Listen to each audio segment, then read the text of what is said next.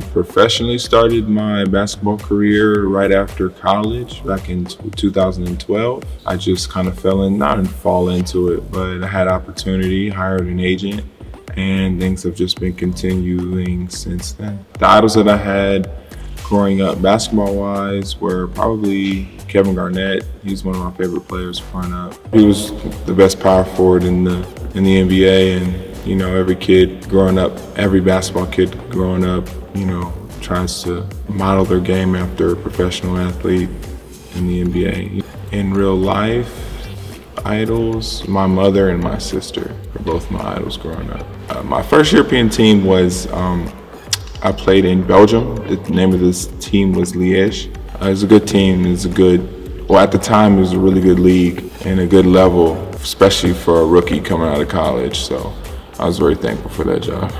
So I've played in a lot of places in Europe. I've played against some of the top level teams and, you know, I had an opportunity to join Szolnok and my agent, you know, I'd heard of Szolnok before, obviously.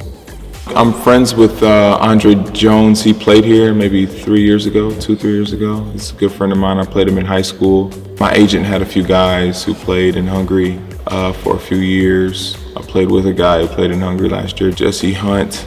And yeah, so I've heard of the league. I've played against Falco and Champions League a few times. And uh, so I jumped at it when my agent told me that were, that you know Szolnok was offering. Um, obviously, want to win a championship. That's always important. It's hard to win championships, obviously, um, but that's always a goal, and I feel like it's an attainable goal as long as we work hard. Actually, everyone on the team is really nice. Really happy about that. No, no big egos on the team. That's very important. Very important for a team to be a winning team is, you know, guys can't have egos.